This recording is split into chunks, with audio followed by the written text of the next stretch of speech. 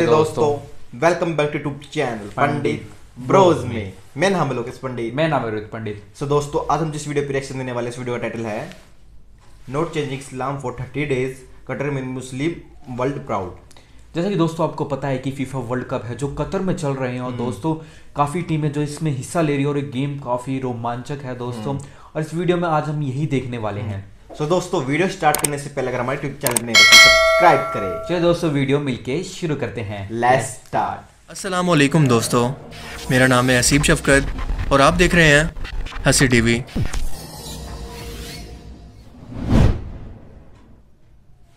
दुनिया भर में जब भी कोई इंटरनेशनल इवेंट होता है तो वहाँ पर हर कौम नस्ल और मज़हब के लोग दुनिया भर से शामिल होते हैं और इसको ऑर्गेनाइज करवाने वाले मुल्क को इससे अच्छी खासी आमदनी होती है।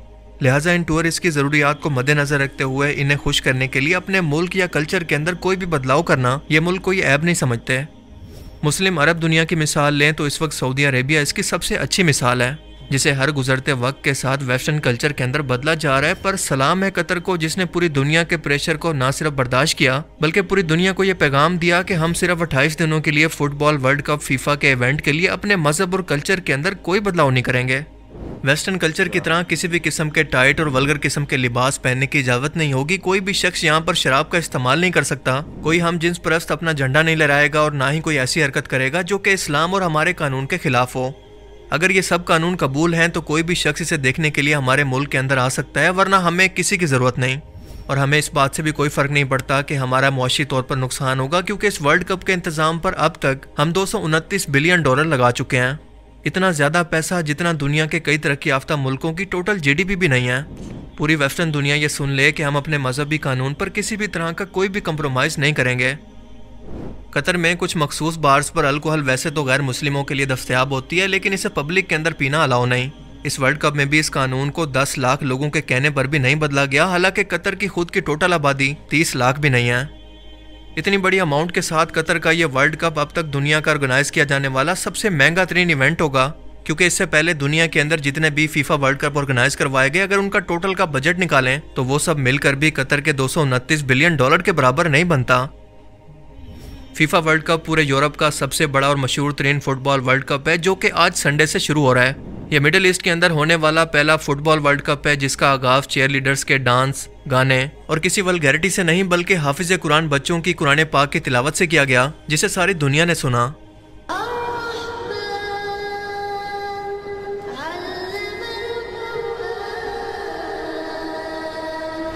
इस वर्ल्ड कप के अंदर 32 टीमें हिस्सा ले रही हैं और 2010 के अंदर जब कतर के पास इस वर्ल्ड कप को होस्ट करने के लिए राइट्स आए तो पूरी दुनिया हैरान थी कि इतना छोटा सा मुल्क इतने बड़े इवेंट को कैसे ऑर्गेनाइज करेगा, जिसकी आबादी पाकिस्तान के शहर फैसलाबाद से भी कम है।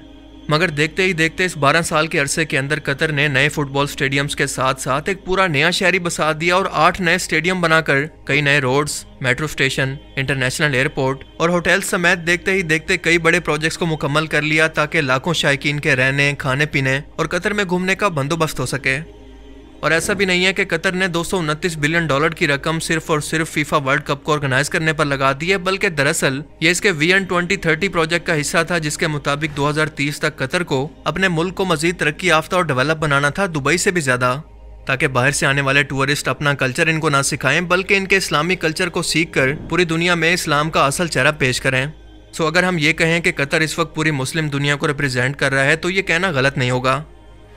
कतर की, क्योंकि खुद कोई फुटबॉल टीम नहीं है और ना ही इससे पहले यहाँ पर कोई ऐसा इवेंट ऑर्गेनाइज हुआ है। लिहाजा इस वर्ल्ड कप के बाद ये स्टेडियम्स यकीनन बिल्कुल वीरान हो जाएँगे, मगर फिर भी कतर इससे इतना प्रॉफिट कमा लेगा कि फ्यूचर के अंदर भी फ़ायदे में रहे।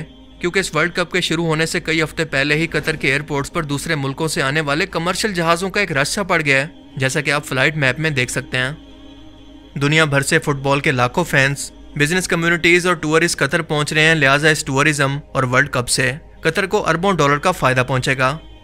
सिर्फ़ फुटबॉल फैंस ही नहीं, बल्कि पाँच अरब लोग टेलीविज़न की स्क्रीन पर और सोशल मीडिया पर कतर और इस्लाम की सकाफत को लाइव देखेंगे और इन तक इस्लाम का असल चेहरा पहुँच सकेगा, जिसे इंटरनेशनल मीडिया ने सिर्फ़ और सिर्फ़ खौफ और दहशत गर्दी से जोड़ रखा है। और बिल्कुल यही वजह है कि कतर को इस वक्त अमेरिकन और यूरोपियन मुल्कों की तरफ़ से बहुत सी कंट्रोवर्सीज का सामना है। तरह तरह के ओथे अचकंडों से इसे बदनाम करने की कोशिश की जा रही है कि यहाँ के इस्लामी कानून बहुत ही सख्त और हती के इंसानी हकूक के भी खिलाफ हैं, क्योंकि यहाँ पर लोगों को अपनी मर्ज़ी से घूमने फिरने की आज़ादी नहीं, उन्हें आज़ादी नहीं कि वो अपनी मर्ज़ी का लिबास पहने। इससे बड़ी हिपोक्रेसी वेस्टर्न दुनिया की भला क्या हो सकती है कि ये खुद कहते हैं कि हर शख्स को हमारे मुल्क के रूल्स रेगुलेशन को फॉलो करना और इसकी रिस्पेक्ट करना लाजमी है। हमारी मर्ज़ी है कि हम अपने मुल्क के लिए जो मर्ज़ी कानून बनाएँ, किसी और मुल्क को ये इख्तियार नहीं कि इसमें किसी भी तरह की मदाखलत करें। लेकिन जब किसी मुस्लिम मुल्क की बारी आती है तो इन्हें इस बात पर अच्छी खासी तकलीफ़ शुरू हो जाती है, जिसकी सबसे अच्छी मिसाल है फ्रांस। आप जानते हैं कि फ्रांस के अंदर मुसलमानों के साथ क्या कुछ नहीं हुआ, वहाँ पर बुरके को बैन कर दिया गया। मुसलमानों को मजहबी तौर पर हरासमेंट का सामना करना पड़ा, लेकिन फ्रांस की हुकूमत का कहना था कि यह हमारे मुल्क के कानून है। किसी भी और मुल्क को इस पर बात करने का इख्तियार नहीं। लेकिन यही मुल्क अपने एक मैगजीन के अंदर बाकायदा दाढ़ियों वाले मुसलमान दिखाकर जिन्होंने कंधों पर बंदूकें पहन रखी हैं, ये दिखाने की कोशिश कर रहे हैं कि ये वैशी मुसलमान अब वर्ल्ड कप को होस्ट कर रहे हैं, जिनका काम ही है बस मार काट करना।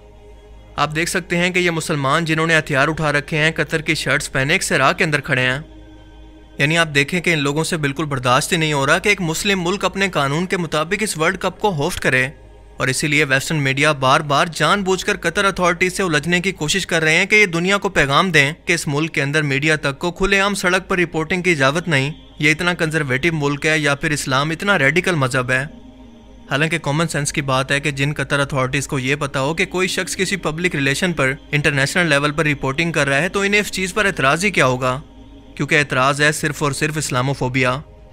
वेस्टर्न मुल्कों को ये आदत पड़ चुकी थी कि वो मुसलमानों को जाहिल और खुद से कमतर समझते आ रहे थे। इन पर हर तरह से अपने रूल्स, रेगुलेशन ज़बरदस्ती मनवाया करते, मगर अब जबकि कोई इस्लामी मुल्क पहली बार इनके सामने वाली लाइन के अंदर आँखों में आँखें डालकर खड़ा हुआ है तो इनसे ये कैसे बर्दाश्त होगा? इसीलिए ये सब मिलकर इसी इवेंट के ज़रिए पूरी दुनिया के अंदर कतर को बदनाम करना चाहते हैं, मगर कतर को इसकी बिल्कुल भी परवाह नहीं। वो दुनिया भर से आने वाले लोगों को इस्लाम और अल्लाह का पैगाम देना चाहता है और यही वजह है कि पूरे दोहा शहर के अंदर जगह जगह पर रसूलुल्लाह की अहादीस और कुरान की तालीमत अरबी और इंग्लिश जबान के अंदर बैनर्स की सूरत में लगा दी गई हैं। होमोसेक्सुअलिटी से मुतलिक जब कतर के अमीर से ये सवाल किया गया कि क्या जर्मनी के होमोसेक्सुअल लोग या कपल्स क्या कतर में इस इवेंट को देखने के लिए आ सकते हैं या वो अपने घरों में बैठे हैं? बेसिकली इस सवाल के ज़रिए मीडिया ने कतर को ट्रिक करने की कोशिश की ताकि दुनिया के अंदर यह तासुर जाए कि इस्लाम इतना कंजर्वेटिव है कि अपने अलावा किसी और कल्चर को एक्सेप्ट ही नहीं करता।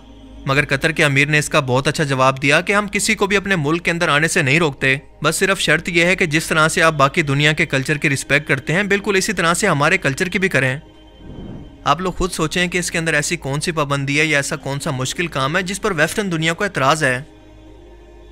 एक तरफ़ कतर जैसा छोटा सा इस्लामी मुल्क गैर मुस्लिम दुनिया को यह पैगाम दे रहा है कि हमारे इस्लामी कानून की पाबंदी करो। किसी भी होमोसेक्सुअल को यहाँ पर कोई आज़ादी नहीं तो दूसरी तरफ़ 24 करोड़ आबादी वाले मुस्लिम मुल्क में जॉयलैंड जैसी वलगर और बेहुदा किस्म की फ़िल्म को बनाकर सोसाइटी को तबाह किया जा रहा है, जिसके अंदर यह दिखाया जाता है कि एक ट्रांससेक्सुअल मर्द, यानी एक असली मर्द ऑपरेशन के ज़रिए खुद को एक औरत के अंदर बदलता है और एक शादीशुदा मर्द इसके प्यार के चक्कर के अंदर पढ़कर इसके पीछे अपना सब कुछ छोड़ देता है। और यही नहीं, बल्कि ये लोग इस फ़िल्म को आस्कर के लिए भी नामजद करना चाहते हैं कि सिर्फ़ पाकिस्तान नहीं, बल्कि पूरी दुनिया के अंदर ये ऐसे कौम लूद की नुमाइंदगी करें, जैसे पहले इनके कानून को पास करके इन्हें कानूनी हैसियत दे चुके हैं। कितनी शर्म का मकाम है हमारे लिए। क्या ये इस्लाम पाकिस्तान दुनिया के सामने पेश करेगा? वैसे तो हम अरब दुनिया की अयाशियों और गलतियों को हाईलाइट करते रहते हैं, लेकिन साथ साथ कतर से इख्तलाफात के बावजूद, जो कि इसने मुस्लिम मुल्कों पर हमले के अंदर नेटो इतिहाद का साथ दिया। कतर को हम इस अच्छे इनिशिएटिव पर अप्रिशिएट करते हुए ये ज़रूर कहेंगे कि वेल्डन कतर। बाकी आप इस बारे में क्या सोचते हैं? अपनी कीमती राय का इजहार कमेंट सेक्शन में ज़रूर करें।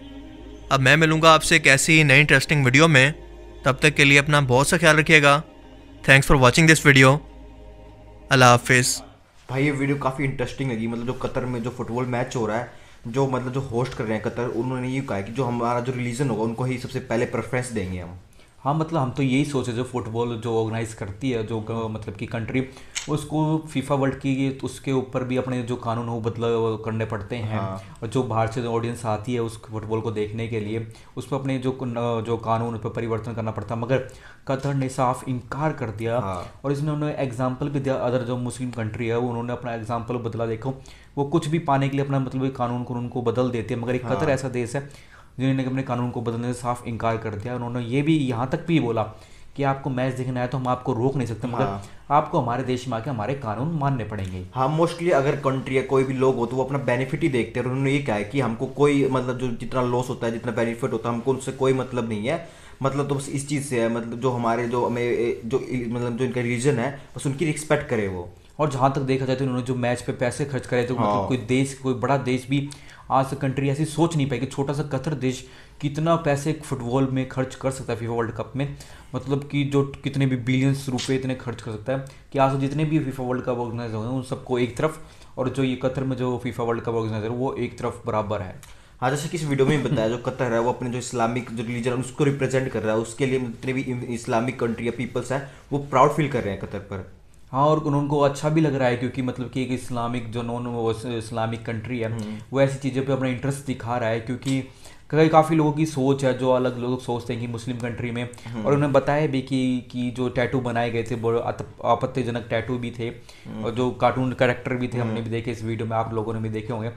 तो लोग दूसरी सोच है उस सोच को उन्होंने बदला है इस फुटबॉल गेम के ज़रिए कि जो मुस्लिम जो लोग होते हैं उनका सोचों को आपस में उनका क्योंकि आप जो सोचते हैं मुस्लिम लोग आपस हम्म। की वो टाइज़म बोलते हैं जो बोलते हैं मतलब उससे हट के इन्होंने जो स्पोर्ट्स में अपना ध्यान दिया है और उनको अपने कानूनों को बदला है चेंज करा तो काफ़ी मतलब कि प्रयास हमें काफ़ी अच्छा लगा देख के वीडियो को। सो so, दोस्तों ये थी हमारी ओवरऑल वीडियो अगर आपको पसंद आए तो प्लीज़ लाइक करें शेयर करें सब्सक्राइब करें। और दोस्तों कमेंट सेक्शन में ज़रूर बताइए नेक्स्ट वीडियो किस चीज़ पर बनाए। नमस्ते दोस्तों।